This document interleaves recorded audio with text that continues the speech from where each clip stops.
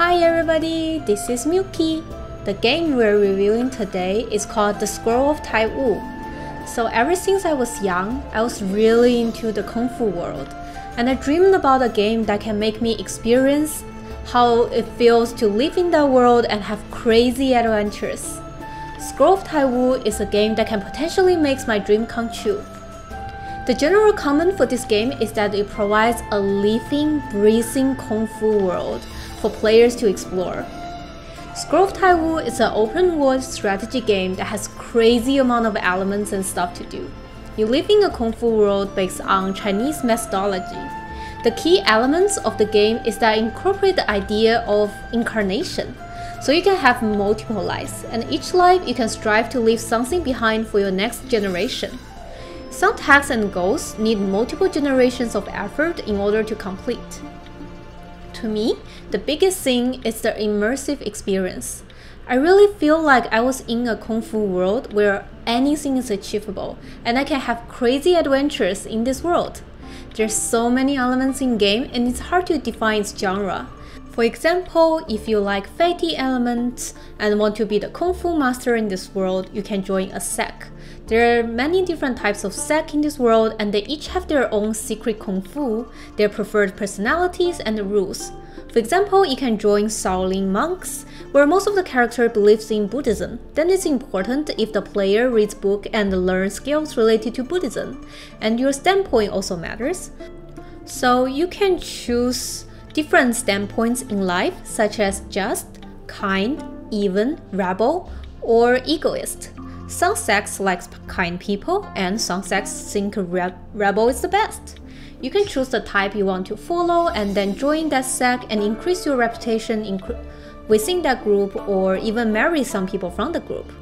If you like farming simulation and city building, you can focus on resource management side of the game.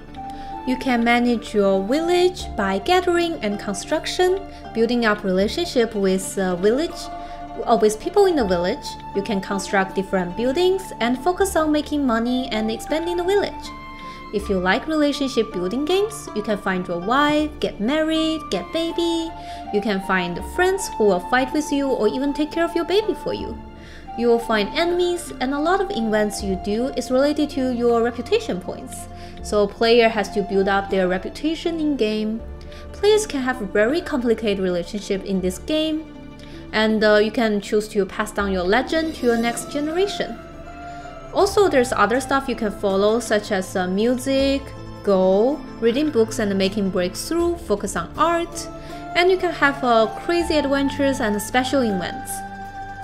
However, the game does have high learning curve, especially at the start. It takes a while for the new player to start enjoying the game. Also, there are still some improvements to make in order to make the UI more user-friendly. However, after you get used to the system and the game, the magic of the game starts to show. You will find out that you can have a very complicated relationship in game and there are so many things to explore in this very massive world of possibilities. The place you were born, the season you were born in, and even your character's looks can affect your character's uh, stats. This world of Taiwu is very complicated but complete. The things you can do are almost unlimited. Based on the comments, this is a game that players can put in hundreds of hours but still feel very interested and a lot of new things to do. Currently, there are no English version for this game unfortunately, but the mode made by Teddy Forest works great. It translates majority of the game so the player could enjoy the core game experience, and the game is still in early access, but I look forward for its future development. Well, that's it for our review for Scroll of Taiwu. I hope you enjoyed this review video. I can also upload a few gameplay videos for Scroll of Taiwu. Please click on the like button and leave a comment if you like to this review video and uh, want to see a gameplay series for it.